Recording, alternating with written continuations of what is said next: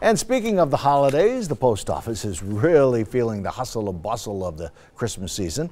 Six on your side's McKenna King has your behind the scenes look at the warehouse processing some of the packages heading to and from Boise.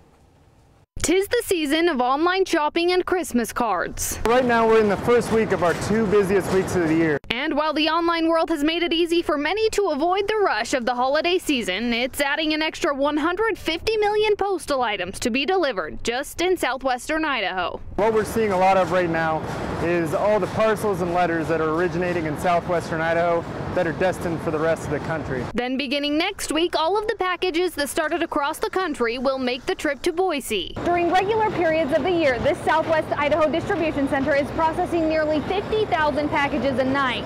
However, during peak holiday season, they're processing upwards of 150,000 packages in just a couple of hours. Processed only to be en route for delivery the following day, adding a big workload to the carriers. All hundreds, just so many parcels per route. It's you know it's a lot, and we, and, but we know it's important and it's it's everybody's Christmas gifts. And while it doesn't come overnight on a sleigh, the extra load is getting done pretty fast. With the the minimal amount of snow and, and the great teamwork, we're definitely getting it done in a pretty good hour. But like it always does, snow will eventually fall. If they're on an all walking route, please salt your driveways. I would really appreciate it. And in the wake of package thieves, a swift reminder to check your mail as soon as possible. McKenna King, 6 on your side.